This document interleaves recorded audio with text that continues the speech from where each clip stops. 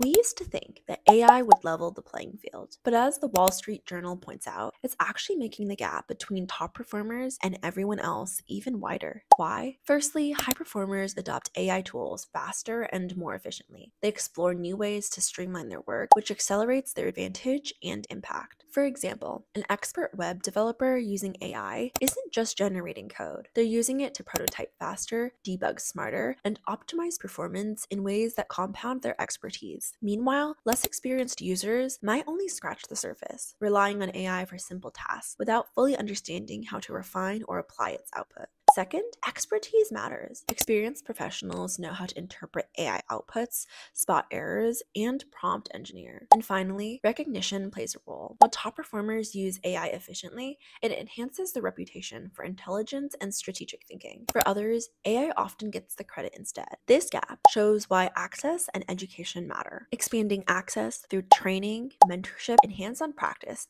can help ensure that innovation isn't limited to those who already have an advantage.